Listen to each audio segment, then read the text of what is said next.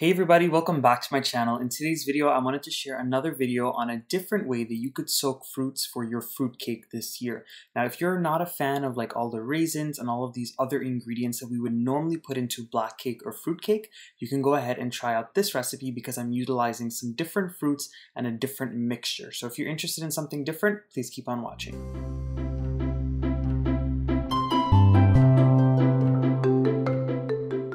So I've got all of my ingredients I'm using today. Today I'm using some dried cranberries. I'm using some maraschino cherries or you can use the glacé cherries. I'm also using some golden raisins and I'm also going to use a little bit of mixed peel. That's going to give a really nice citrus flavor. I'm also using some Jamaican spiced rum as well as some red wine, but you can use any type of alcohol that you want. And I'm also going to go in with a little bit of brown sugar to balance out the sweetness of the cranberries. So into a large bowl, I just want to mix up all of my fruits so this way it's easier for me to go ahead and grind it. So in the bowl, I'm going in with the cranberries, I'm going in with those golden raisins, and you want to make sure to wash the cranberries and the raisins just in case there's sediment in them from the packaging. And I'm going in with my mixed peel as well as my maraschino cherries.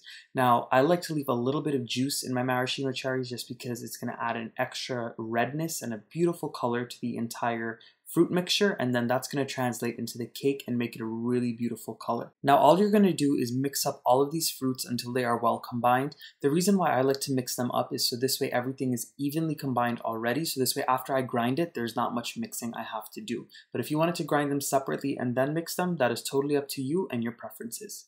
Now at this point, once I mix all my fruits together, I'm going to go in with little batches at a time and grind them in my food processor.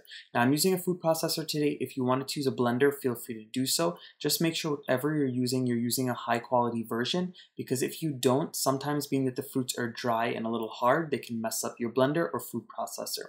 Now into that little batch of fruits I put in, I'm pouring on a little bit of the red wine at a time and I'm also going into a little bit of, of the sugar at a time and I'm going to keep on blending this up in little batches and then taking them out and emptying it into a bowl until all of my fruits are done grinding. And the texture of your fruits is totally up to you. If you like a very chunky fruit cake, then you're gonna wanna go ahead and leave it very chunky. And if you want something that's very, very smooth and homogenous, then you're gonna wanna make it smooth. I did it more on the smoother side because my family doesn't really like big chunks in our fruit cake. So I just wanted to show you guys the beautiful reddish color that it has. It's really nice and bright. And as you guys can see, I made it more on the smooth side just because that is what my family and I prefer. And all I'm going to keep on doing is after I grind a set, I'm going to put it into a bowl and I'm going to keep on grinding the rest of my fruits.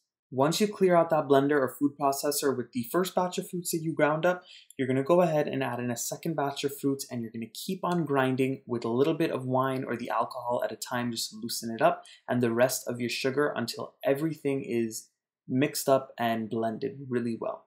So I finished grinding all of my fruits and as you guys can see this mixture has such a beautiful color and all I'm going to do now is pour on all of my spiced rum. Now the reason why I didn't put it into the food processor as I was blending the fruits was because there was a little too much liquid to go in there or wasn't going to blend properly. So I used all of the wine out when I blended them and all I got to do is mix in this extra alcohol. If you wanted to blend it with it and your blender had the space or your food processor had the space, feel free to do so. But all I'm going to do is mix this up together and then this mixture is ready to store. You can store this for as long as you want. You can store it for a couple of months, a couple of weeks, really as long as you want until you make your cake. So I have a clean airtight glass jar that I'm putting this mixture in.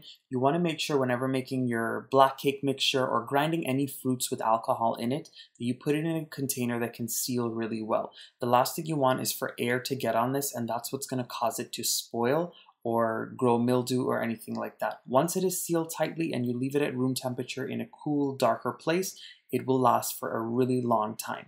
Alright everyone, I hope you enjoyed this quick little tutorial today. If you did, please don't forget to give this video a nice big thumbs up. Subscribe to my channel if you're not subscribed yet, and leave those comments down below. I hope you guys stay tuned until next week where I bake my fruitcake using this mixture.